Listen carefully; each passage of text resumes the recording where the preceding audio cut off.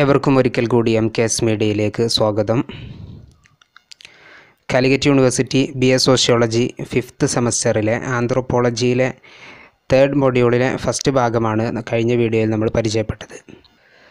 Primitive society എന്താണെന്നും ആദ്യ ഭാരതത്തിൽ നടന്നിരുന്ന വിവാഹ രീതികളെ പറ്റിയും അതുപോലെ കിൻഷിപ്പിനെ പറ്റിയിട്ടുമൊക്കെ നമ്മൾ പറഞ്ഞു കഴിഞ്ഞു. എക്സാം ബേസ്ഡ് ആയിട്ടുള്ള ക്ലാസ്സുകൾ നിങ്ങൾക്ക് ലഭിക്കുന്നതിന് വേണ്ടിയിട്ട് ചാനൽ സബ്സ്ക്രൈബ് ചെയ്യുക. ഡിസ്ക്രിപ്ഷനിൽ കഴിഞ്ഞ ക്ലാസ്സുകളുടെ ലിങ്കുകൾ നൽകിയിട്ടുണ്ട്. അതും ഉപയോഗപ്പെടുത്തുക. ഇനി നമുക്ക് പറയാനുള്ളത് പ്രൈമറ്റീവ് റിലീജിയൻ ആണ്. പ്രാകൃത മതവിശ്വാസങ്ങൾ. ഗിരിവർഗക്കാരുടെയും ഗോത്രവർഗക്കാരുടെയും മതവിശ്വാസങ്ങളെയാണ് പ്രാകൃത മതവിശ്വാസങ്ങളെന്ന് പറയുന്നത്. ആദിമ നിവാസികളുടെ വിശ്വാസങ്ങളിൽ നിന്നാണ് ഇന്ന് നാം കാണുന്ന മതവിശ്വാസങ്ങളെല്ലാം രൂപം കൊണ്ടിട്ടുള്ളത്. നമുക്കറിയാം ക്രിസ്തുമതം ഇസ്ലാം അതുപോലെ ഹിന്ദുമതം ബുദ്ധമതം തുടങ്ങിയ എല്ലാ മതങ്ങളിലും പുരാതനകാല മതസങ്കല്പങ്ങളുടെ സ്വാധീനം കാണാവുന്നതാണ്. സാമൂഹികമായി ഒറ്റപ്പെട്ടു നിൽക്കുന്നതും നാഗരിക സംസ്കാരത്തിൽ നിന്ന് അകന്ന് കഴിയുന്നതുമായ സമൂഹങ്ങളിലാണ് പ്രൈമറ്റീവ് റിലീജിയൻ സാധാരണയായി കണ്ടുവരുന്നത്. ദൈവിക ശക്തികളുമായി നേരിട്ട് ബന്ധപ്പെടാനുള്ള മാർഗങ്ങളായിട്ടാണ് മതപരമായ ചടങ്ങുകളെ ആദിമ മതങ്ങൾ കാണുന്നത്. ദൈവപ്രീതിക്കായി നടത്തുന്ന പൂജകളും മറ്റു ചടങ്ങുകളുമൊക്കെ ആദിമ സമൂഹത്തിലെ മതരീതികളുടെ ഒരു സവിശേഷതയായിരുന്നു.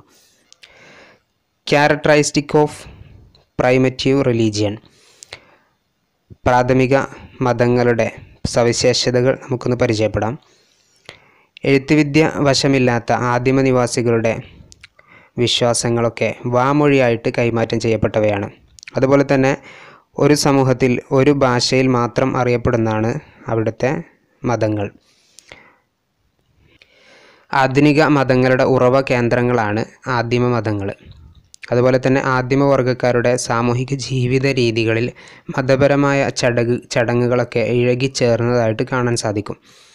ഒരുപാട് പ്രൈമറ്റീവ് റിലീജിയൻസ് നമുക്ക് ഇവിടെ കാണാം. ആസ്ട്രേലിയയിലെ ആദിമ നിവാസികളുടെ മതം അതുപോലെ ശ്രീലങ്കയിലെ സിംഹള മതം ദക്ഷി ദക്ഷിണാഫ്രിക്കയിലെ സുലു വംശജരുടെ മതം തുടങ്ങിയൊക്കെ ഇതിന് ഉദാഹരണമാണ്. അടുത്തതായിട്ട് major concept of primitive religion ആദിമ മതങ്ങളെക്കുറിച്ച് പ്രധാനമായും നാല് കൺസെപ്റ്റുകളാണുള്ളത് അത് നമുക്ക് പറയാം. റിലീജിയൻ എന്ന വാക്ക് ഉത്ഭവിക്കുന്നത് റിലീജിയർ എന്ന ലാറ്റിൻ വാക്കിൽ നിന്നാണ്. ടു ബൈൻഡ് കൂട്ടിക്കെട്ടുക എന്നാണ് റിലീജിയർ എന്ന വാക്കിന്റെ അർത്ഥമായി വരുന്നത്. ഒന്നാമത്തെ കൺസെപ്റ്റ് എന്ന് പറയുന്നത് നാച്ചർ വേർഷിപ്പാണ് അതായത് എല്ലാ പ്രകൃതി ശക്തികളുടെയും ആരാധന പ്രാചീന മതങ്ങളുടെ ഒരു സവിശേഷതയാണ്. രണ്ടാമത്തേത് ആൻസസ്റ്റോർ വേർഷിപ്പ് പൂർവികന്മാരുടെ ആത്മാക്കളെ ആരാധിക്കുന്ന ശീലമുള്ളവയാണ് എല്ലാ പ്രാചീന മതങ്ങളും. നിത്യജീവിതത്തിൽ പരേതാത്മാവിന് ഇടപെടുവാൻ കഴിയുമെന്ന വിശ്വാസമാണ് ആരാധനയുടെ അടിസ്ഥാനമായിട്ട് പറയുന്നത്. മൂന്നാമത്തെ ഒരു കൺസെപ്റ്റാണ് ആനിമാറ്റിസം ഇത് പരീക്ഷയ്ക്ക് ചോദിക്കാവുന്നൊരു ചോദ്യമാണ്. അതായത് അപരിഷ്കൃത സമൂഹങ്ങളിലും ആദിമ നിവാസികളുടെ ഇടയിലുമുള്ള ഒരു അമൂർത്ത സങ്കല്പമാണ് ആനിമാറ്റിസം എന്ന് പറയുന്നത്. ഒരു പ്രകൃതാതീത ശക്തിയിലുള്ള വിശ്വാസമാണ് ആനിമാറ്റിസം. അതായത് പ്രപഞ്ചമാകെ നിറഞ്ഞു നിൽക്കുന്നതും പ്രത്യേക രൂപമില്ലാത്തതുമായ ഒരു ഒറ്റ ശക്തിയിലുള്ള വിശ്വാസമാണ് ചുരുക്കി പറഞ്ഞാൽ ആനിമാറ്റിസം എന്ന് പറയുന്നത്. വ്യത്യസ്ത അളവുകളിൽ ഈ ശക്തി എല്ലാ വസ്തുക്കളിലും മനുഷ്യരുൾപ്പെടെയുള്ള ജീവജാലങ്ങളിലും ഉണ്ട് എന്നാണ് ഇവർ വിശ്വസിക്കുന്നത്. തെക്കൻ പസഫിക് പ്രദേശത്തുള്ള പോളിനേഷ്യൻ ദ്വീപ് സമൂഹങ്ങളിൽ ആനിമ ആനിമറ്റിസം ആനിമാറ്റിസം അറിയപ്പെടുന്നത് മന എന്ന പേരിലാണ്. ഈ ആനിമാറ്റിസം ഗോത്രത്തലവന്മാരിൽ വളരെയധികം ശക്തിയോടെ ഉണ്ടാകുമെന്നും അതുകൊണ്ടാണ് ഗോത്രത്തലവന്മാരെ ഇവർ നിലത്ത് പോലും ചവിട്ടാൻ അനുവദിക്കാതെ എടുത്ത് നടക്കുന്ന ആചാരമൊക്കെ അവർക്കിടയിൽ നിലനിൽക്കുന്നുണ്ട്. പ്രൈമറ്റീവ് റിലീജിയണിലുള്ള നാലാമത്തെ കൺസെപ്റ്റാണ് ടോട്ടമിസം എന്ന് പറയുന്നത്. കഴിഞ്ഞ പരീക്ഷയ്ക്ക് അഞ്ച് മാർക്കിന് ചോദിച്ച ഒരു ചോദ്യമാണിത്. ടോട്ടം എന്ന ഇംഗ്ലീഷ് വാക്ക് അമേരിക്കയിലെ ഓബ്ജിവ ഇന്ത്യക്കാരുടെ ഓട്ടോറ്റമൻ എന്ന വാക്കിൽ നിന്ന് ഉണ്ടായതാണ്. അവർക്ക് ഈ വാക്കിന്റെ അർത്ഥം ബന്ധു എന്നാണ്. ടോട്ടമിസം കൊണ്ട് അർത്ഥമാക്കുന്നത് പല സമൂഹങ്ങളിലും തങ്ങളുടെ കുലചിഹ്നമായി ഏതെങ്കിലും ഒരു മൃഗത്തെയോ വൃക്ഷത്തെയോ ഒക്കെ ആരാധിക്കാറുണ്ട്. അത്തരത്തിൽ വൃക്ഷങ്ങൾ മരങ്ങൾ അചേതന വസ്തുക്കൾ എന്നിവയെല്ലാം കുലചിഹ്നമായി മാറാറുമുണ്ട്. ഇത്തരത്തിൽ തങ്ങളുടെ കുലചിഹ്നമായ മൃഗത്തെയോ വൃക്ഷത്തെയോ കൊല്ലുന്നതും നശിപ്പിക്കുന്നതുമൊക്കെ പാക പാപമായിട്ട് ആളുകൾ കരുതുകയും ചെയ്യുന്നു. ഇത്തരം ഒരു കൺസെപ്റ്റിനെയാണ് ടോട്ടമിസം എന്ന് പറയുന്നത്. ഇതിന് ഒരുപാട് സവിശേഷതകൾ നമുക്ക് കാണാൻ സാധിക്കും. ഒന്നാമതായിട്ട് കുലചിഹ്നത്തിൽ നിന്നാണ് തങ്ങളുടെ ഉത്ഭവം എന്ന വിശ്വാസമാണ് ആദിമ സമൂഹങ്ങൾ വെച്ച് പുലർത്തുന്നത്. രണ്ടാമതായിട്ട് വിശദീകരണങ്ങൾക്കപ്പുറത്തുള്ള നിഗൂഢമായൊരു ബന്ധം കുലചിഹ്നങ്ങൾക്ക് ഉണ്ടെന്ന വിശ്വാസം നിലനിൽക്കുന്നു. അതുപോലെ തന്നെ ആവശ്യഘട്ടങ്ങളിൽ കുലചിഹ്നമായി സങ്കല്പിക്കുന്ന ശക്തി നമ്മളെ സഹായിക്കാനും സംരക്ഷിക്കാനുമൊക്കെ വരുമെന്നും അവർ വിചാരിക്കുന്നു. കുലചിഹ്നമായ മൃഗത്തെ കൊല്ലുന്നത് പാപമാണെന്ന് അവരുടെ വിശ്വാസമാണ്. അതുപോലെ തന്നെ ഒരു സമൂഹത്തിലെ അംഗങ്ങൾക്കിടയിൽ ഐക്യവും കൂട്ടായ്മയും വർദ്ധിപ്പിക്കാൻ ഇത്തരം കുലചിഹ്നങ്ങൾ സഹായകമാകുന്നുണ്ട്. മൃഗങ്ങൾക്കും വൃക്ഷങ്ങൾക്കുമൊക്കെ പുറമെ കല്ലുകൾ സൂര്യൻ ചന്ദ്രൻ പുഴ പർവതം എന്നിവയൊക്കെ ഇവർ ആരാധിക്കാറുണ്ട്. മലേഷ്യ ആഫ്രിക്ക ഓസ്ട്രേലിയ അമേരിക്ക എന്നിവിടങ്ങളിൽ ഇത്തരം ആളുകളെ ഇപ്പോഴും കണ്ടെത്തിയിട്ടുമുണ്ട്. ടോട്ടമിസം എന്ന വിശ്വാസത്തിന്റെ ഫലമായി പലതരം വൃക്ഷങ്ങളും മൃഗങ്ങളുമൊക്കെ സംരക്ഷിക്കപ്പെടുന്നു എന്നത് ഇതിന്റെ ഒരു പ്ര പ്രസക്തിയാണ്. ടോട്ടമിസത്തിന്റെ വ്യാപനം എന്ന് പറയുന്നത് ആസ്ട്രേലിയയിലെ ആദിമ നിവാസികളുടെ ഇടയിൽ കുലചിഹ്നവുമായി ബന്ധപ്പെട്ട വിശ്വാസങ്ങൾ വ്യാപകമാണ്. അതുപോലെ വടക്കേ അമേരിക്ക ആഫ്രിക്കയിലെ ആദിമ നിവാസികൾ തുടങ്ങിയ ആളുകളുടെ ഇടയിലൊക്കെ ഇത് കാണാറുണ്ട്. സൈബീരിയയിലുള്ള യോക്കട്ട് വർഗക്കാർ അരയന്നം താറാവ് മലങ്കാക്ക എന്നീ പക്ഷികളെ അവരുടെ ഗോത്രങ്ങളായിട്ട് ഗോത്രത്തിലെ കുലചിഹ്നങ്ങളായിട്ട് തിരഞ്ഞെടുത്തിട്ടുണ്ട്. പുരാതന മതങ്ങളെക്കുറിച്ച് പറയുമ്പോൾ ആൻസെസ്ട്രൽ സ്പിരിറ്റ് അഥവാ പൂർവിക ആത്മാക്കൾ എന്നൊരു വിശ്വാസം ഗിരിവർഗ സമൂഹങ്ങളിൽ ഇന്ന് നിലനിൽക്കുന്ന ഒരു ആചാരവും വിശ്വാസവുമൊക്കെയാണ്.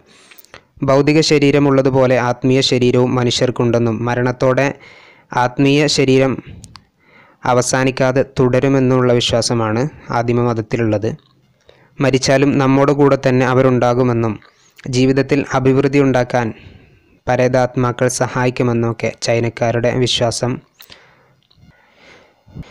അടുത്തതായിട്ട് ആന്ത്രോപോളജിക്കൽ അപ്രോച്ച് ടു റിലീജിയൻ മതവുമായി ബന്ധപ്പെട്ട് നരവംശാസ്ത്രം പറയുന്നത്. അമാനുഷിക ശക്തിയുമായി മനുഷ്യനെ സംബന്ധിപ്പിക്കുന്നതിനുള്ള ഒരു ഉപാധിയാണ് മതം. മനുഷ്യന്റെ ഭൗതിക ജീവിതത്തിലും ആത്മീയ ജീവിതത്തിലും സ്വാധീനം ചെലുത്തുന്ന വിശ്വാസങ്ങളും പ്രവർത്തന രീതികളും അടങ്ങിയ സാമൂഹിക സ്ഥാപനമാണ് മതം. പ്രധാനമായിട്ടും എഡ്വേർഡ് ടൈലർ അതുപോലെ മാലിനോസ്കി ജെയിംസ് ഫ്രസർ എന്നിവരാണ് മതങ്ങളുടെ ഉത്ഭവത്തെക്കുറിച്ച് വിശദമായി പഠനങ്ങൾ നടത്തിയിട്ടുള്ളത്. ആദ്യമായിട്ട് നമുക്ക് എ ബി ടൈലറിന്റെ മതവുമായി ബന്ധപ്പെട്ട കാഴ്ചപ്പാട് മനസ്സിലാക്കാം. മതത്തിന്റെ ഉത്ഭവത്തെക്കുറിച്ച് പഠനം നടത്തിയിട്ടുള്ള എഡ്വേർഡ് ടൈലറിന്റെ പഠനമേറെ ശ്രദ്ധിക്കപ്പെട്ടതാണ്. ആദിമ സമൂഹങ്ങളിലുണ്ടായിരുന്ന മതരീതിയെ സർവജീവത്വവാദം അഥവാ ആനിമിസം എന്നാണ് ടൈലർ വിളിക്കുന്നത്. അദൃശ്യ ശക്തികളിലുള്ള വിശ്വാസമാണ് സർവജീവത്വവാദം അഥവാ ടോട്ടമിസം. അദൃശ്യ ശക്തികളിലുള്ള വിശ്വാസം ഉടലെടുക്കുന്നത് സ്വപ്നദർശനങ്ങളിലൂടെയും അതുപോലെ മായാദൃശ്യങ്ങളിൽ നിന്നുമൊക്കെയാണെന്ന് ടൈലർ പറയുന്നു. ആത്മാവിനെക്കുറിച്ചുള്ള സങ്കല്പത്തിൽ നിന്നാണ് അദൃശ്യ ശക്തികളെക്കുറിച്ചിട്ടുള്ള വിശ്വാസങ്ങളുടെ തുടക്കമുണ്ടാകുന്നത്. ചുരുക്കത്തിൽ ആത്മാക്കളും അഭൗമ ശക്തികളുമാണ് പുരാതന മനുഷ്യരിൽ മതവിശ്വാസങ്ങൾക്ക് രൂപം കൊടുത്തത് എന്നാണ് ടൈലർ പറയുന്നത്. അടുത്തത് മാലിനോസ്കി വ്യൂസ് ഓൺ റിലീജിയൻ മതത്തെക്കുറിച്ച് മാലിനോസ്കിയുടെ കാഴ്ചപ്പാട്. സാമൂഹിക നിയന്ത്രണത്തിൽ മതത്തിനുള്ള പങ്ക് ഉയർത്തിക്കാട്ടിയ നരവംശാസ്ത്രജ്ഞനാണ് മാലിനോസ്കി. മനുഷ്യന്റെ പെരുമാറ്റ രീതികളെ നിയന്ത്രിക്കുക എന്ന ധർമ്മമാണ് മതം നിർവഹിക്കുന്നത് എന്ന് അദ്ദേഹം പറയുന്നു. മാനസിക സന്തോഷങ്ങൾ നേടിയെടുക്കാൻ വേണ്ടിയിട്ടാണ് അദൃശ്യ ശക്തികളിൽ മനുഷ്യർ വിശ്വസിച്ചു പോകുന്നത് ആരാധനയിലൂടെ മനസ്സിന്റെ കരുത്ത് വർദ്ധിപ്പിക്കുവാൻ മനുഷ്യർക്ക് സാധിക്കുന്നു. അതുപോലെ തന്നെ സമൂഹത്തിലെ കൂട്ടായ്മയും യോജിപ്പും വർദ്ധിപ്പിക്കുക എന്ന ധർമ്മമാണ് മതം ചെയ്യുന്നത്. അടുത്തതായിട്ട് ജെയിംസ് ഫ്രസറിന്റെ മതവുമായി ബന്ധപ്പെട്ട കാഴ്ചപ്പാടുകളാണ് പറയുന്നത്. ആദ്യത്തെ രണ്ട് കാഴ്ചപ്പാടുകളിൽ നിന്നും അല്പം വ്യത്യസ്ത രീതിയിലാണ് ഇദ്ദേഹം പറയുന്നത്. മന്ത്രവാദം പോലെയുള്ള ചില ആചാരങ്ങളാണ് മതവിശ്വാസങ്ങൾക്ക് വിത്ത് പാകിയതെന്നാണ് ഇദ്ദേഹം പറയുന്നത്. പ്രാർത്ഥനകളും മാന്ത്രിക കർമ്മങ്ങളും ഉദ്ദേശിച്ച ഫലം നൽകാതെ വന്ന ഘട്ടത്തിലാണ് കൂടുതൽ കഴിവുകളുണ്ടെന്ന് കരുതപ്പെട്ട ശക്തികൾക്ക് നേർച്ചയും കാഴ്ചയും അർപ്പിച്ച് തുടങ്ങിയത്. ഈ രീതിയിലുള്ള ആരാധനയാണ് മതത്തിന്റെ ഉത്ഭവത്തിന് കാരണമെന്നാണ് ഇദ്ദേഹം പറയുന്നത്. പിന്നീട് പ്രകൃതി ശക്തികളെ സ്വന്തം നിലയ്ക്ക് നിയന്ത്രിക്കുവാൻ കഴിയാത്തതിനാലാണ് മനുഷ്യരെക്കാൾ ശക്തിയും കഴിവുമുണ്ടെന്ന കരുതപ്പെടുന്ന അഭൗമ ശക്തികളെ അദൃശ്യ ശക്തികളെ ആരാധിക്കുന്ന ഈ രീതിക്ക് തുടക്കം കുറിക്കുന്നത്. അടുത്തതായിട്ട് റിലീജിയൻ ആൻഡ് മാജിക്. സാമൂഹികവും മാനസികവുമായ മനുഷ്യന്റെ ആവശ്യങ്ങൾ മതങ്ങൾ സാധിച്ചു കൊടുക്കുന്നുണ്ട്. മതത്തിന്റെ മതതത്വങ്ങൾ മനുഷ്യന്റെ ധാർമ്മിക പ്രവർത്തനങ്ങൾക്ക് പിന്തുണ നൽകുന്നതാണ്. ലോകത്ത് ലോകത്ത് ഇതുവരെ ഉണ്ടായിട്ടുള്ള എല്ലാ സമൂഹങ്ങളിലും ഏതെങ്കിലും തരത്തിലുള്ള മതവിശ്വാസങ്ങളും ഉണ്ടായിട്ട് ഉണ്ടെന്നാണ് മാലിനോസ്കി പറയുന്നത്. എന്നാൽ പിന്നീട് മാന്ത്രിക കർമ്മങ്ങൾ ഉപയോഗിച്ച് അമാനുഷിക ശക്തികളെ പ്രീതിപ്പെടുത്തുക വഴി ഭൗതിക നേട്ടങ്ങൾ ഉണ്ടാക്കിയെടുക്കാമെന്ന വിശ്വാസമാണ് മന്ത്രവാദത്തിന്റെ അടിസ്ഥാനം. രണ്ട് തരത്തിലുള്ള മന്ത്രവാദങ്ങൾ ഇവിടെ പറയുന്നുണ്ട്. മാന്ത്രിക കർമ്മങ്ങൾ രണ്ട് രീതിയിലാണ്. ഒന്ന് വൈറ്റ് മാജിക്കും രണ്ട് ബ്ലാക്ക് മാജിക്കും ഒരു വ്യക്തിയുടെയോ സമൂഹത്തിന്റെയോ നന്മയെ ലക്ഷ്യമാക്കി നടത്തപ്പെടുന്ന ചടങ്ങുകളാണെങ്കിൽ അതിന് വൈറ്റ് മാജിക് എന്നും നേരെ തിരിച്ച് അപകടകരമായ മറ്റുള്ളവർക്ക് ദ്രോഹം ചെയ്യുക എന്ന ഉദ്ദേശത്തോടു കൂടി നടത്തപ്പെടുന്ന ക്രിയകളാണെങ്കിൽ ബ്ലാക്ക് മാജിക് എന്നും അതിന് പറയും. നമുക്കറിയാം വൈറ്റ് മാജിക്കിൽ ഉൾക്കൊള്ളുന്ന കാര്യങ്ങളാണ്. രോഗങ്ങൾ ഇല്ലാതാക്കുന്നതിനും മറ്റു സാമൂഹ്യ നന്മ ലക്ഷ്യമാക്കിയിട്ടുമൊക്കെ നമ്മൾ പലപ്പോഴും പലരെയും സമീപിക്കാറുണ്ട്. അപകടം ഉണ്ടാകുന്ന സമയത്ത് അത് ഇല്ലാതെയാക്കാൻ വേണ്ടിയിട്ടൊക്കെ ചെയ്യുന്ന കാര്യങ്ങളാണ് വൈറ്റ് മാജിക്കിൽ ഉൾക്കൊള്ളുന്നത്. Distance between religion and magic എന്ന ഭാഗത്ത് മതവും അതുപോലെ മാന്ത്രികയും തമ്മിലുള്ള വ്യത്യാസങ്ങളും ഇവിടെ പറയുന്നുണ്ട്. റിലീജിയൻ എന്ന് പറയുന്നത് സാമൂഹികമായി പ്രാധാന്യമുള്ളതും സമൂഹത്തിന്റെ മൊത്തം നന്മക്കും പ്രാധാന്യം നൽകുന്നതും ദൈവിക ശക്തിക്ക് മനുഷ്യൻ കീഴ്പ്പെടുന്നതും അതുപോലെ പ്രാർത്ഥനകൾ ദൈവപ്രീതിക്കായി നടത്തപ്പെടുന്നതുമാണ് റിലീജിയനിൽ വരുന്നത്. എന്നാൽ മാജിക്ക് വ്യക്തിപരമായ പ്രയോജനങ്ങൾക്ക് ചെയ്യുന്നതാണ്. ഒരു വ്യക്തിയുടെ നന്മക്ക് അത് പ്രാധാന്യം നൽകുന്നു. ദൈവിക ശക്തികളെ നിയന്ത്രിക്കുവാൻ ശ്രമിക്കുകയാണ് ഇവിടെ ചെയ്യുന്നത്. മനുഷ്യന്റെ സ്വാർത്ഥ താല്പര്യങ്ങൾ അല്ലെങ്കിൽ മനുഷ്യന്റെ ലക്ഷ്യങ്ങൾ പൂർത്തീകരിക്കാൻ വേണ്ടിയിട്ടാണ് മാജിക്കുകൾ ഉപയോഗിക്കുന്നത്. അമാനുഷിക ശക്തികളുമായി ബന്ധപ്പെടുന്നതിനുള്ള വിവിധ മാർഗങ്ങൾ പറയുന്നുണ്ട്. ഒന്നാമത് പ്രയറാണ് നമ്മുടെ പ്രാർത്ഥനകൾ. രണ്ടാമത് മ്യൂസിക് ആടിയും പാടിയും ഒക്കെ നടത്തുന്ന മതപരമായ ചടങ്ങുകൾ ദൈവപ്രീതി പ്രതീക്ഷിച്ച് നടത്തുന്ന കാര്യങ്ങളാണ്. അതുപോലെ തന്നെ സൈക്കോളജിക്കൽ എക്സ്പീരിയൻസ് സ്വന്തം ശരീരത്തിൽ മുറിവേൽപ്പിച്ചും ആയുധങ്ങൾ തുളച്ചു കയറ്റിയുമൊക്കെ നടത്തുന്ന ചില രീതികൾ. അതുപോലെ തന്നെ എക്സ് ഹോർട്ടേഷൻ അതുപോലെ റിസൈറ്റിംഗ് ദ കോഡ് നമ്മുടെ ദൈവവചനങ്ങളും ദിവ്യവചനങ്ങളും ഒക്കെ ഉരുവിടുക. പിന്നുള്ളത് സിമുലേഷൻ ശത്രുവിന്റെ രൂപത്തിലുണ്ടാക്കിയിട്ടുള്ള രൂപങ്ങളെ മർദ്ദിക്കുന്നത് വഴി യഥാർത്ഥ ശത്രുവിന് ഉപദ്രവം ഉണ്ടാകുമെന്ന വിശ്വാസത്തിൽ ചെയ്യുന്ന പ്രവർത്തനങ്ങൾ. അതിനാണ് സിമുലേഷൻ എന്ന് പറയുക. പിന്നീട് ഇതിൽ വരുന്ന കാര്യങ്ങളാണ് സാക്രിഫൈസ് ബലിയർപ്പിക്കുക എന്നതും അതുപോലെ തന്നെ കോൺഗ്രിഗേഷൻ കൂട്ടം ചേർന്നിട്ടുള്ള പ്രാർത്ഥനകൾ. അവസാനമായിട്ട് ഇതിൽ പറയാനുള്ളത് ടാബോസ് ആണ്. നമുക്കറിയാം സാമൂഹിക ബന്ധങ്ങളിൽ കാണപ്പെടുന്ന വിലക്കുകളെയാണ് ടാബോ എന്ന് വാക്ക് നമ്മൾ പറയാറുള്ളത്. ചില വസ്തുക്കളെ പരിഭാവനമായി കണക്കാക്കിക്കൊണ്ട് അവയുമായുള്ള സാമീപ്യം ഒഴിവാക്കുക ചില വസ്തുക്കളെ നികൃഷ്ടമായി കണക്കാക്കുകയും അവയുമായുള്ള സമ്പർക്കങ്ങൾ ഒഴിവാക്കുകയും ചെയ്യുക എന്നതാണ് ടാബോ എന്ന ആചാരത്തിലുള്ളത്. മതപരമായിട്ടും അതുപോലെ തന്നെ സാംസ്കാരികപരമായിട്ടും ആയ ഒരുപാട് വിലക്കലുകൾ സമൂഹത്തിൽ നമുക്ക് കാണാൻ സാധിക്കും. അതിൽ ചിലതാണ് അബോഷൻ ഗർഭചിതം പാപമായിട്ട് സമൂഹം കണക്കാക്കുന്നു. അതുപോലെ തന്നെ അഡിക്ഷൻ മദ്യപാനം തുടങ്ങിയ ഒരു തിന്മയായിട്ട് മനസ്സിലാക്കുന്നു. അതുപോലെ തന്നെ അഡൾട്രി വിവാഹിതരുടെ പരസ്ത്രീ ഗമനം പരപുരുഷ സംഗമവും ഒക്കെ വിലക്കിയതാണ്. അതുപോലെ തന്നെ അതിൽപ്പെട്ട കാര്യങ്ങളാണ് ഹോമോസെക്ഷുവാലിറ്റി ഇൻസെക്റ്റ് തുടങ്ങിയ കാര്യങ്ങൾ. ഇത്രയാണ് ഈ ഭാഗത്തുള്ളത്.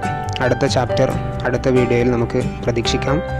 മറ്റു ചാപ്റ്ററുകൾ ലഭിക്കുന്നതിന് വേണ്ടി ഡിസ്ക്രിപ്ഷൻ ബോക്സ് സന്ദർശിക്കുക.